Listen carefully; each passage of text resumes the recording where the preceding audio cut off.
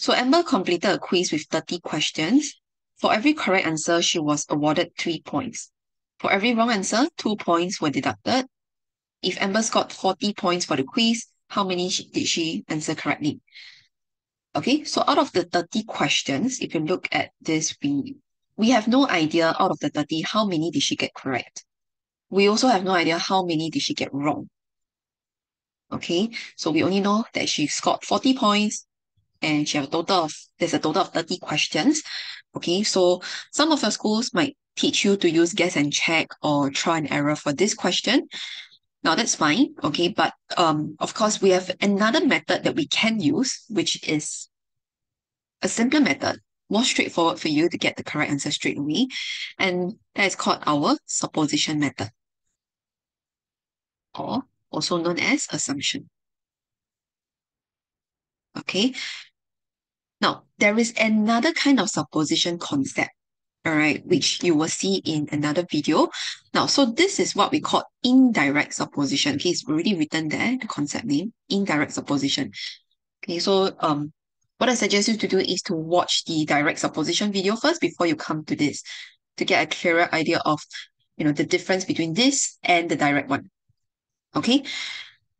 Now, for this indirect supposition question, all right, we call this supposition with penalty. You know, that's another word for it. Why penalty? Because every time you get a wrong answer, you get deducted two points. Okay, so that itself is a penalty. So for this kind of supposition with penalty questions, first thing first, we always suppose the happy outcome.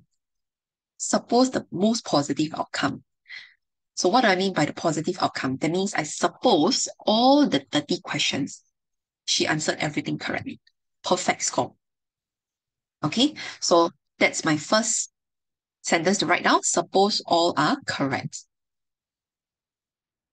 So the word suppose means to pretend or to imagine. Imagine she's got everything correctly.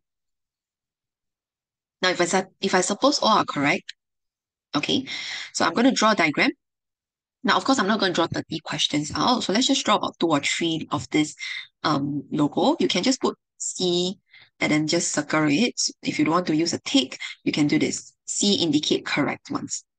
Okay, then just put dot, dot, dot to indicate many, many more that you are not going to draw out. All this will be your 30 questions. Right? And she's getting them correct because we imagine all are correct. Okay. Now, from all these 30 correct questions, we would like to find out what is the total score that she could have scored? Total marks. Okay, so for every correct answer, you are awarded three points. So if you get all 30 questions correct, that means you can be awarded 90 points, right? 30 times 3. So let's write it back down here. This will be 90 marks or 90 points. Now, but did she really score 90 points? Okay, so if you look back at the question, they say she only scored 40 points for the quiz. A perfect score would be 90 points, but seeing that she only scored 40 marks, that means um, she must have gotten some questions wrong, for sure. Okay, so we're going to find out how many marks did she lose.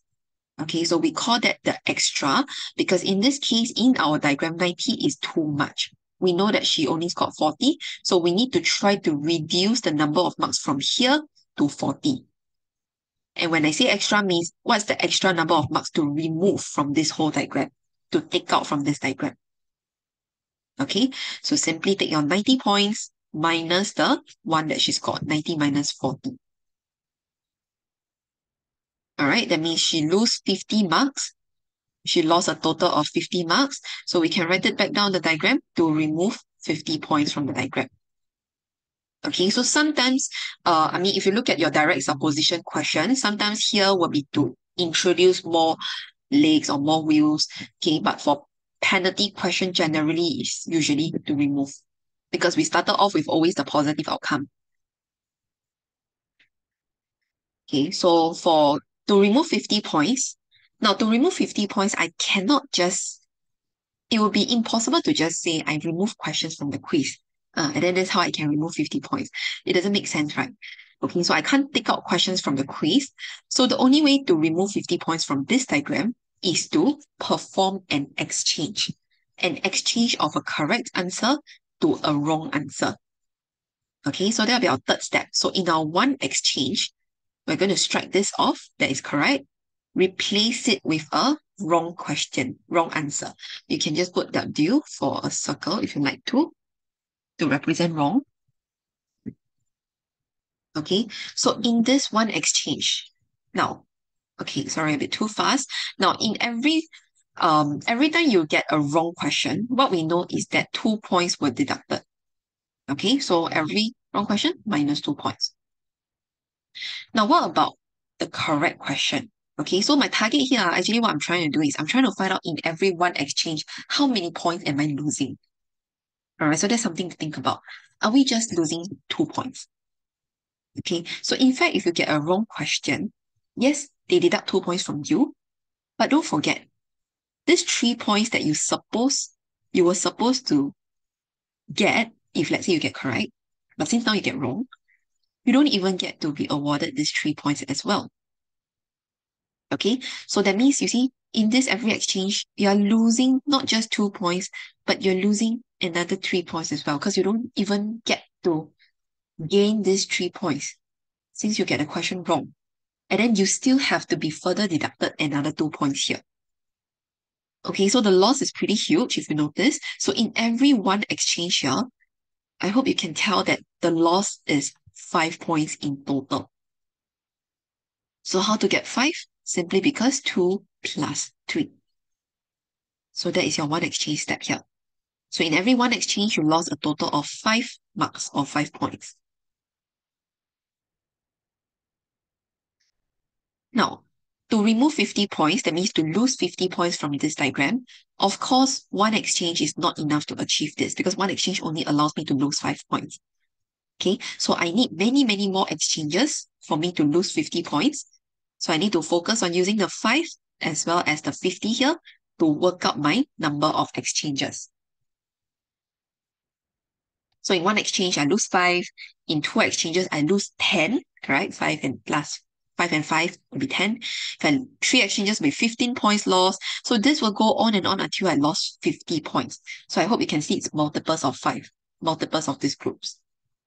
Okay, so to find number of exchanges, simply you divide. Take the total points to lose divided by the points lost per exchange. And there'll be 10 exchanges. Okay. Now, the moment you have number of exchanges already, you need to ask yourself and relate this 10 back to whether this 10 is it the correct questions or is it the wrong questions. Okay, so in one exchange, you are exchanging from correct to wrong. You always end up with a wrong question in every exchange, which means that if you have 10 exchanges, this 10 should represent 10 wrong questions, not the correct ones. And of course, from here, do not stop here. Look back at the question and see what they require. How many questions did she answer correctly? This is only the wrong ones. Okay, so we need to go on to find the number of correct questions very simple, simply just by taking the total questions minus away the ones that she got wrong. So simply your 30 minus 10. Okay, and that will be your 20 correct questions.